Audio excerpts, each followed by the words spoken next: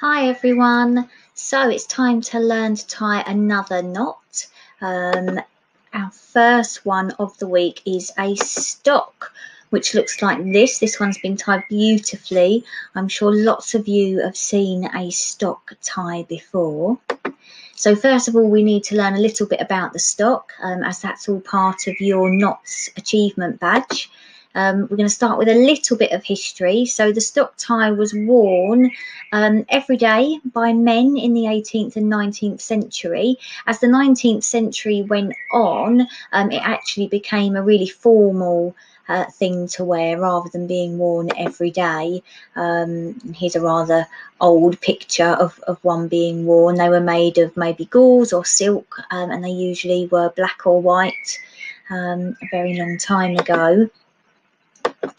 Um, then it became really popular to wear a stock for hunting, but not just because it looks very, very smart. Um, it had other uses. So if um, a horse or even a rider was injured on on on the hunting field, it could be used as a bandage or maybe um, a sling for someone who's hurt their arm. Um, obviously, when it's tied round your neck, it would keep any um, wind or rain from going down your collar. So that was another reason that they like to wear a stock on the hunting field.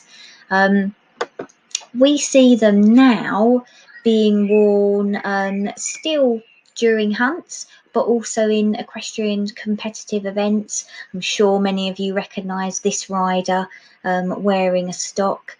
Um, so it's worn a lot in dressage, you see them, or the dressage phase of eventing, um, and you sometimes see them being worn in show jumping as well. So that's a bit about the stock. Now, I've got a bit of a confession. I can't tie a stock, but I'm going to learn with you this week. So instead, I've got Georgie who's going to show you how to tie an extremely neat stock. Um, she's a bit of a pro when it comes to tying stocks. So I'll hand you over to Georgie. Hi, I'm going to show you how to tie a stock. This is the Pony Club stock and it helps if it's quite well ironed and flat um, because to smooth a finish in the end. Lexi's going to be my model. Now, the front of the stock has a buttonhole and that buttonhole goes onto the button at the front of your shirt. So let's do that first. Lexi's shirt is a little bit snug, but we shall get that on. Okay.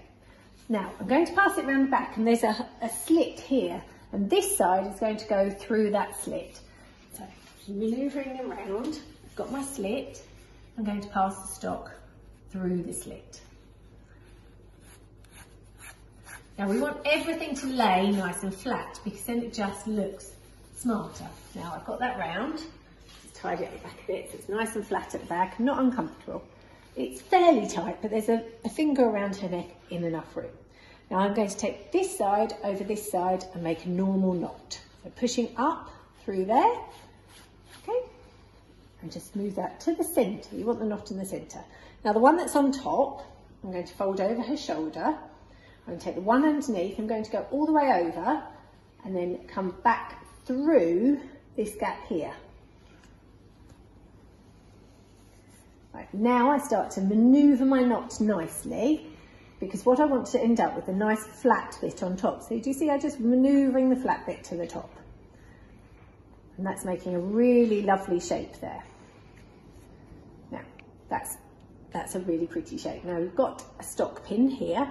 Always have your stock pin handy and ready.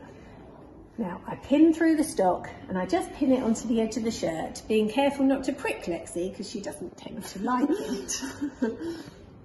Gone through the stock and then I tend to attach it to the shirt holds the stock up nicely in position. My stock pin isn't that sharp, they never are, I find. And then uh, just having it at a slight angle makes it look quite nice, I think. There you go. And that's going to be done up. And there you are.